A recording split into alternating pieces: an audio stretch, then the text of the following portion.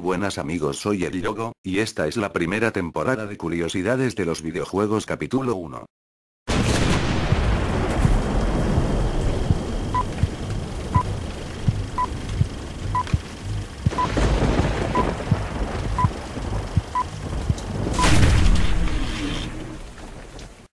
La primera curiosidad es de GTA San Andreas, el mapeado jugable de GTA San Andreas es de casi 44 kilómetros cuadrados.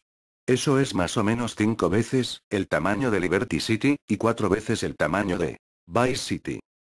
El juego Ratchet Ball cancelado para Mega Drive 32X, tenía un jefe final que ocupaba 30 pantallas de alto y llevaba unas 33 armas.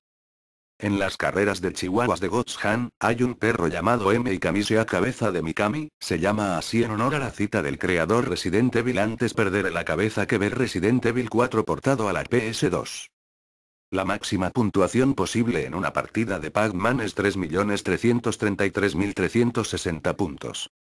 El juego de acción robótica para PS2, Armored Core Ninebreaker, tiene un modo de entrenamiento de 150 lecciones. En el arcade original de Donkey Kong, Mario se llama Human y es un carpintero, no un fontanero. Se puede leer un número de seis cifras en los Scorpion Tanks en Halo, este número es la fecha de nacimiento del director de arte del juego, Marcus R. Leto. Sus iniciales también aparecen en la suela de las botas de Master Chief.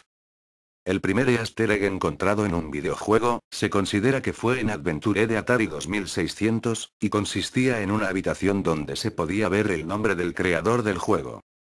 Michael Jackson, de una manera u otra, ha aparecido en Sonic the Hedgehog 3, Ready 2 Rumble Round 2, Space Channel 5 1 y 2, GTA Vice City y, obviamente, en Moonwalker.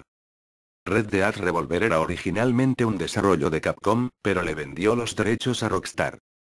El juego de Game Game para PS2 y Xbox, tuvo que ser retirado al descubrirse que una de las chicas era menor de edad al publicarse el juego. Eso es todo por este capítulo de curiosidades de los videojuegos. Si quieren más curiosidades dale me gusta comenta y suscríbete para enterarte de más vídeos, y en la descripción están las redes sociales, me despido soy el Yogo y hasta la próxima. Adiós.